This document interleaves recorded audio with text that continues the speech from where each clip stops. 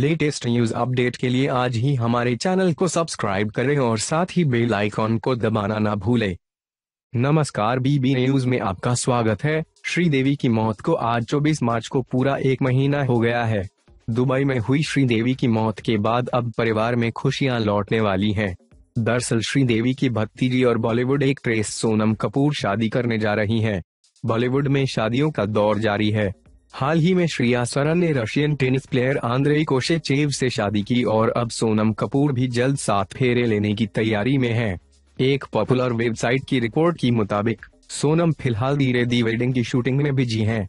Shooting खत्म करने के बाद वो 11 और 12 मई को long time boyfriend Anand Ahuja से शादी कर रही हैं।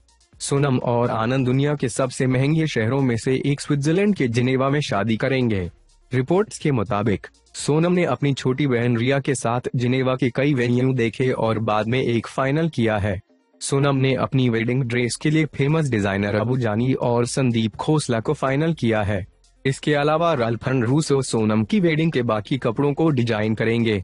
रिपोर्ट्स के मुताबिक, शादी की डेट और वेन्यू फिक्स होने के बाद अब सोनम के पिता अनिल कपूर ने फ्लाइट्स की बुकिंग भी शुरू कर दी है।